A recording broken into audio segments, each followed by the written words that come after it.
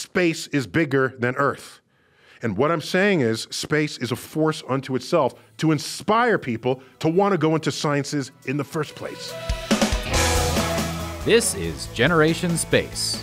In this episode, we continue our conversation with Dr. Neil deGrasse Tyson and former astronaut Colonel Jack Two Fish Fischer.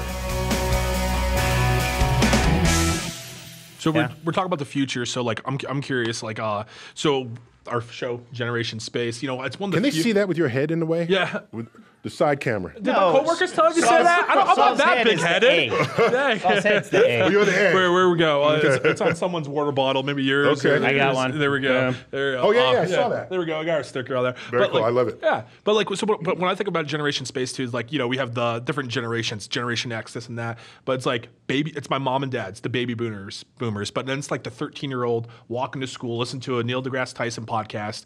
Um, it's one of the few generations. Or this that- podcast. Or this podcast. Hey, Is that good? That, yeah, that, yeah, that good go. that? Yeah. that's nice. Yeah, uh, product placement and everything. Um, but um, so when, when, we think about the um, you know 2060 and we think about what could be, um, what, so like what are some of the things when you're talking to kids, when you're talking to STEM audiences, what do you tell them to not just be the 20% pessimistic, but like what do you, what, gets you going? What gets you excited for I, what's I have a, possible? I have a, a slightly more sort of uh, uh, nuanced way that this can all unfold, and this takes longer than an elevator ride. So the elevator does. pitch. Mm-hmm. Okay, let's go into a tall building. they give me a little more time on the elevator. Need a couple floors. Yeah, gonna add a few more floors to that elevator ride, Well, not just in look the, in the five-story Rayburn office building, right in Washington, or however many stories it is. It's not a high-rise.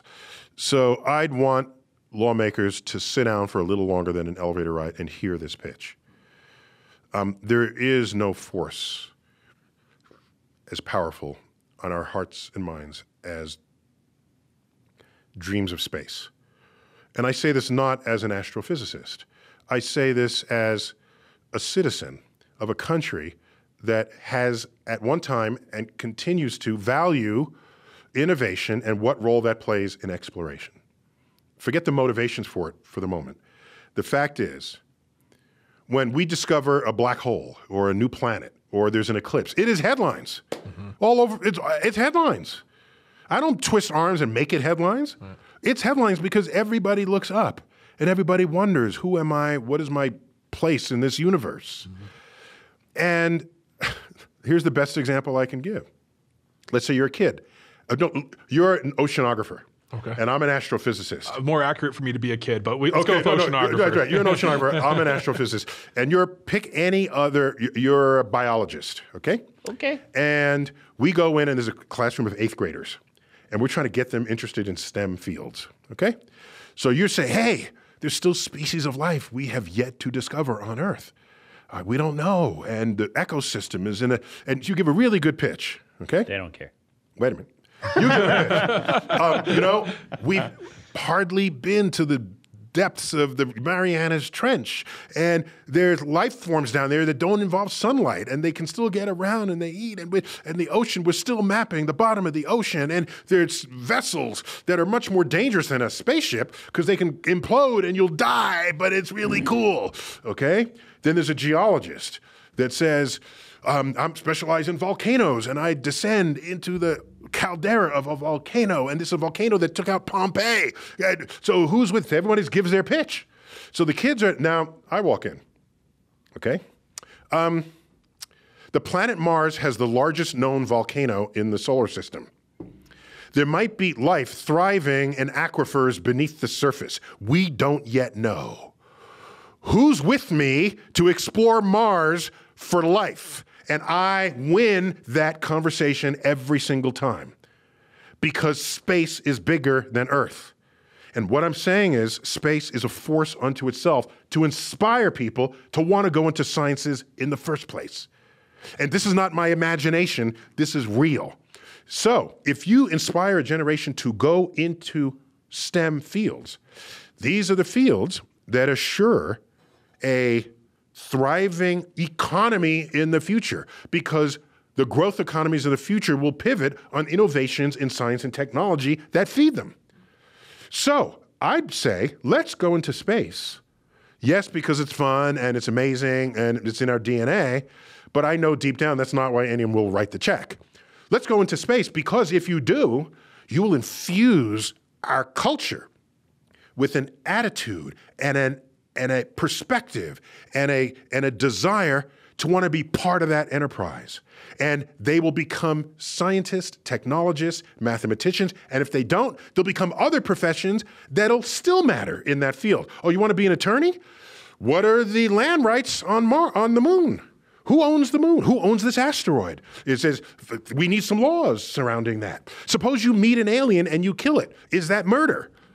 It's, is it murder if they're less intelligent than you? Is there murder if it's so? There are other uh, walks of life. Medicine. We need. We want to keep you alive. Food. What food are you going to eat two years down the line? Agriculture. Are you going to grow food when you get to Mars? It's all there.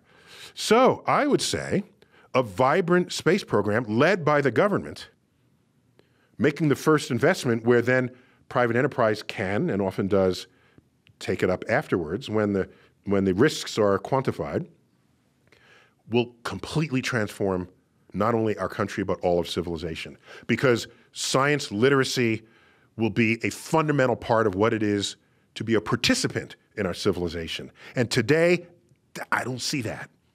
Science literate people are science literate, and other people are rejecting science. What's that about? What do you want to move back into the cave tomorrow? What are you doing? So so that spiel that I just gave, I could probably tighten it to half that length, but it's still longer than an elevator ride. And today, we have programs to try to get people interested in science. Why do you have programs trying to get people interested? Because there's nothing out there that's otherwise attracting them. When the government does something like let's go to Mars with astronauts, it makes headlines every week. Here's the new challenge. Oh, we need people to help us prevent us from radiation. Oh, I'm an engineer. I got a solution for that. Uh, we need food three years down the line. How are you going to do that? I've got a way to grow food on Mars. All of a sudden, innovation becomes fun, not the requirement of some government program just to increase those numbers. You didn't need programs in the 1960s to stimulate interest in science. Apollo was doing that. I was going to say for free. No, but Apollo costs money. Oh, no. Apollo was doing that. You didn't need a separate program. People wanted to become science teachers who were science literate. Yeah. It's a culture that we would lead to. It is, I, and I'm not going to skeptify what you said. I'm going to amplify what you said. Boom, there it went. Boom. Um, fist bump on skeptify. But I am going to use another another saying for you New, New Yorker folks. Uh, it's man. like a self-licking ice cream cone. You you do great things. You inspire kids to do STEM. They do more great things. You you inspire more kids. It is a multi generational effort. It has to be. And uh, when I when I was applying for the astronaut program, I was in the F twenty two squadron, greatest fighter ever made. And I asked who was inspired by Apollo. Every single person in the room raised their hand. They're all in their fifties, um, and they created that. So those great things come from the inspiration. But I do think that we are unlike be- before. I got to keep going it's back diff- to it's different this it's time. Different, yeah, it's different this, time, baby, because we are seeding industry. The X Prize seeded a commercial space tourism industry. I can't even imagine getting you to see space. And with your ability, like Shakespeare, to explain that to everyone, I have a friend who's an author, Patricia Cornwell. I know Patricia. Yes. And and if she could see it. Nobody if, doesn't love Patricia Cornwell. She's oh my great. God, love the lady. yeah. But and her, you, her, latest novel is, is in space. It is. Yes. How, has, it, is it out yet? It, it comes out uh, one October. Oh, okay. So, oh, oh, so he, has got the inside yeah, track. Man, uh, get it, get Week out. Coming up. This is like a murder in space or something. It, yeah. It's a James Bond. And she cares. She cares person. about facts. She and, does. Oh, okay. Yeah, yeah, so, yeah. But imagine a scientifically her, literate novelist, yeah. or you, Fantastic. or all of these people going for a space flight, a, a Blue Origin or a Virgin Galactic, and then coming back and sharing that with the world. Little sparks catching an inspirational wildfire all over the planet to get another way. Because, yes, the truly hard, amazing, almost impossible things inspire you at a different level. But uh, being a friend of the Onizuka family and going to Challenger centers all over. Mm. Um, Ellison Onizuka from Challenger, yeah. Yep, mm. and uh, it's it's it's a uh, you know I, I I can inspire kids by showing them about capillary action and almost drowning myself with my Kool-Aid. You know, you can you can inspire kids by showing them things that don't even make sense, that open their mind a little bit. The things that open their mind wide open, that's hugely inspirational. That's lifetime inspirational. But you can get them down the path with even the little stuff. And so the more f- the more ways that we come at the same problem, another seeding of industry, commercial crew program. We paid them to design it for us. They thought there was going to be a, you know, uh, economy, economic reason on the other side, so they're engaged. And now we're going to have a huge foundation of capability to get folks to orbit as opposed to what we would have had. Well, we've been working on that for 20 years. Consider commercial 20, crew programs not 20 no, I'm, ta- no, I'm talking about I'm, I'm talking about the intent to have commercial uh, tourism. Okay, that's been that's been on the table for at least Tourism two is decades. one thing. Commercial No, crew you, but you program is- started. You- is I'm, dragging I'm, space I'm going to, age. okay, Okay. I'm just saying. You, All right. you mentioned it. I'm just taking them one by one. I'm going to skeptify you. So for our go. audience members who are just listening to this, I'm staying, I'm sitting between both of them. I am a little fearful for my life, but keep, keep, keep going. There's a hold me going. back. baby. Hold me back. Like Dr. Tyson's a kind of a tall guy. I didn't realize how tall he was. You're, you're kind of on your own, sir. so so um, uh, tourism that's been in sort of a very obvious important first attempt to get non-tax based monies feeding space activities You bet. okay no doubt about it it's been two decades um, and whereas in 1960 we went from no spacecraft that can carry humans to nine years later putting humans on the moon. And it's been 20 years, and we have yet to have a viable commercial um, tourism industry, in part because we can do the Vomit Comet. Suborbital, we got that. Orbital, that is not a, that's not a simple extension of going suborbital. That is a whole other design of spacecraft with heat shields. And, and excuse me, don't say, oh, we're having suborbital right now, and then if, and soon we'll go in orbit. I, I don't see that anytime soon. The risk and the costs. No, sorry, no, it'll be for millionaires. and- It's a millionaire ride. Okay. It- It's for millionaires. And sorry, it's for billionaires who can spend a million dollars. Okay. Not for millionaires who can spend fifty thousand dollars or a hundred thousand. It'll cost way more than a hundred thousand dollars. So here's a way you could do that. You can have a lottery. I put in a dollar to go orbital, and you get three hundred million people doing it every week. Um, that pays for that person to go on. You could do Sounds that. great. You could do that. Um, but I'm just saying the progress in that has been slow. And uh, so that feeds my skepticism that it's going to happen anytime soon. You mean like I don't know October 50 years. 6th when we have the OFT for CST 100? Well, I'm just saying if you you can have someone fork up ten million dollars to ride, I, but they're one-offs at that point. They're they're like sure they're test cases for whether this might be something in the future. I don't have a problem with that.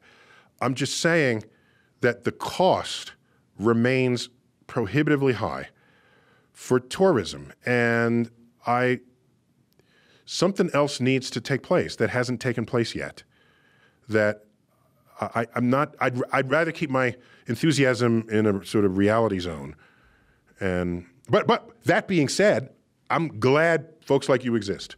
And Elon Musk, we need people who are ready to just walk off the edge. Hold my beer. Watch this. Exactly. There we go, I there we go. like that. See, he's got an expression. See? Jersey. We, we got one. we got an expression. Hold my beer. Watch this. I love that. There we go. There we go. That's a good one. He one. didn't like any of mine. I I got the star today. What town in Texas are you from? I, I'm not from Texas. My mom is from Texas. Uh, What town is she from? Uh, all over, but Uvalde. Yeah, It okay. was where it started, Sabinal. All right.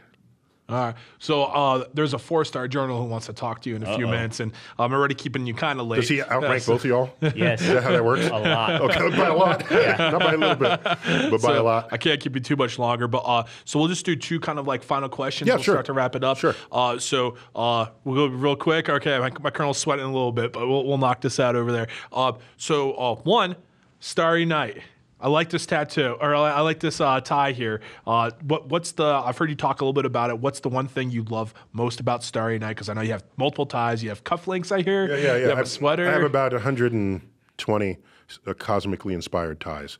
And none of only a few of them are representational. The rest are some artistic interpretation of space, which I prefer. So, so uh, one of my representative ones is a the Saturn V rocket, which is where it fits. It's vertical. There we go, it yeah. works. It works.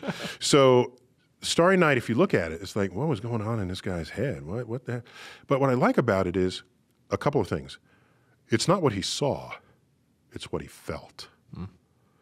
And I like tracking what people feel because that emotions drive actions. Emotions drive motivation. Emotions Inspiration. are what make us human. And I value that. Plus, my brother's an artist, so I have certain sensitivities to that that are just from family. In addition, I think it's the first painting ever to be named for what was drawn in the background. Not in the foreground. Not Right. The, they could have named it Sleepy. Village, Cypress Tree, Rolling Hills. No. It's named The Starry Night. And I don't know of another painting that has a foreground, midground, background, and the name of the painting is the background. And this was 1889, very late. So for me, as an astrophysicist, it was the dawn of an era where people are turning the universe into the subject hmm. rather than the wallpaper of what is otherwise their object of interest. Yeah, that's great. I, lo- I love when so- you know a thousand people can look at something and take have different takeaways. And uh, Yeah, that's. I think the best art is you can personalize what you see. If you if you can't personalize what you see, the artist didn't give you room to take ownership of that moment you had with their creation. Yeah. Fantastic. And uh, so this is the last question, and I always ask this, uh, for, you know, just about every interview I do. Okay. Uh, so uh, I'll, I'll, I'll let you think about it, Dr. Tyson. I'll, I'll ask Colonel Fischer 1st There we go. Um, so real simple. What do you live your life by? What's your your theme song, your mantra, your uh, this is this is my compass here. Okay. Uh, last thing my dad uh, said to me uh, when he died was I'd, uh, I was going to leave the academy, come home, help run the construction company. He said, "No way. Heads always been in the stars. I dare you to dream." And that is, it's uh, it's two components: opening your mind to what's possible and working hard to get there. And I think what's important to me right now and and my airmen and and the airmen of uh, United States Space Command is that we need to set the table.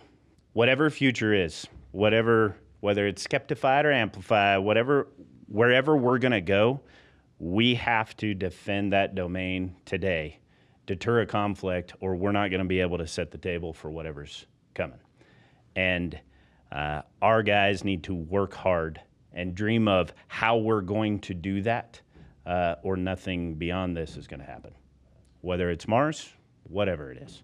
So, dare to dream, and uh, you can put that on any epic you want. But for now and for us, it's most important today. Yeah, yeah. You, you, you went quite literal with uh, your dad's words. You know, your head's always been the stars, and you lived in the stars. I mean, Hey, uh, baby. Yeah, you're kind of hanging out with them a little bit up there. Who knows, right? Who knows? So, how about you, Dr. Tyson? Well, as an astrophysicist, low Earth orbit is still far away from the stars. I just want to make that clear. All right, I'm out later, everybody. no, what people don't know is if you take a, a globe, a schoolroom globe of the Earth, and ask where is the space station, how far away, people usually stick their hand out far, but it's it's three eighths of an inch above the surface. So as an astrophysicist, I was never really attracted to Apollo or the space program because they were not going far away enough for me because I cared about stars and galaxies and the Big Bang and the universe. Um, but it's sufficient to excite people, and that's all that really mattered there. Um, I, I just want to comment that what you said, while you're applying it to the here and now, I agree with you that it's a timeless.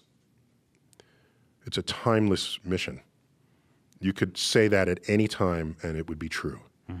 You, but you, you in the here and now are applying it in the here and now, and that's a great, it's a great sentiment. Uh, for me, I, I just want to make sure I learn something new every day, so that I continue to be a lifelong learner. School was not my education; it was the beginning of my education. And not to sound cliche, but you attend a commencement. Commencement means the beginning, not the end. But most people think of it as the end, and they stop learning, and then they ossify in life. As long as you keep learning, more opportunities get noticed. The capacity to solve greater and greater problems um, grows. So I want to learn something new every day. And also take a little bit of my life each day to lessen the suffering of others. Both my parents were, father was active in the civil rights movement. My mother became a, a gerontologist. So I lived in a household where concern and caring for others was fundamental to a life's mission. And here's their son, the astrophysicist. So how do I fulfill that? It doesn't take much, you know, help someone across the street. You, I mean, it does just little, trifling little bits of your day, which is hardly any investment, really.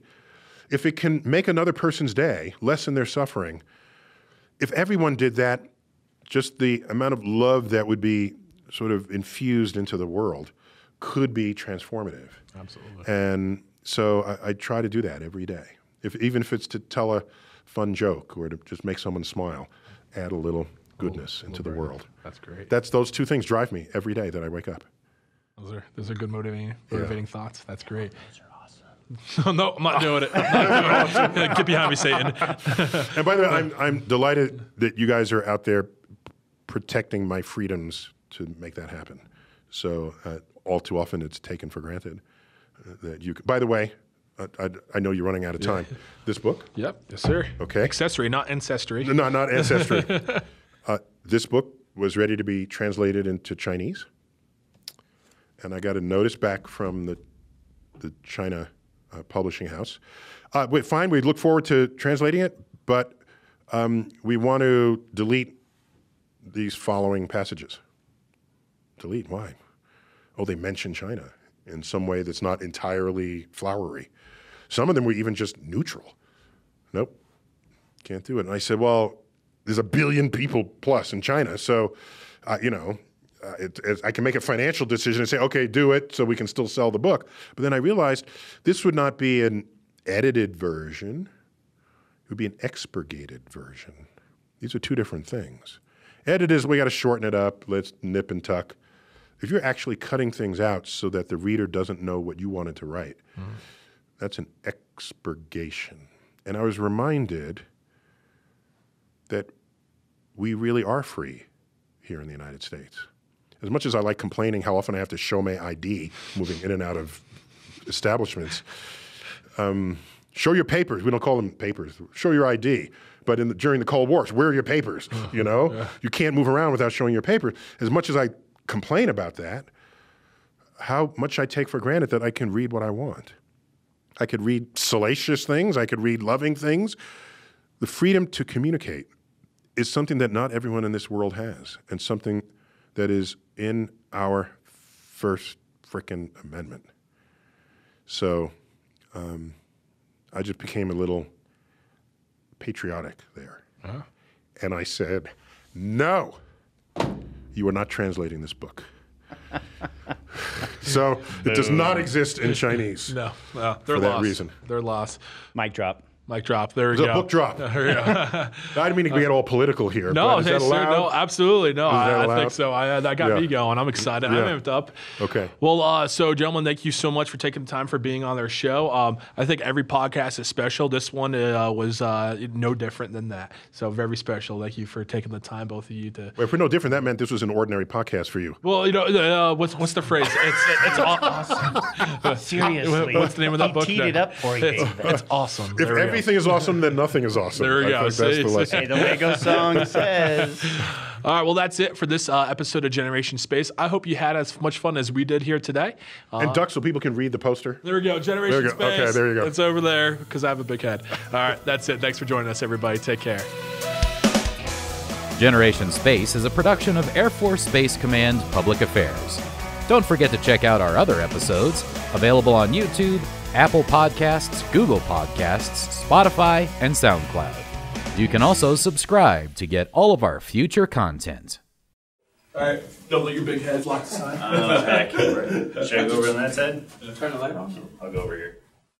The views and opinions expressed or implied in this podcast are those of the participants and should not be construed as carrying the official sanction of the Department of Defense, Air Force, U.S. Space Command, Air Force Space Command, or other agencies or departments of the U.S. government.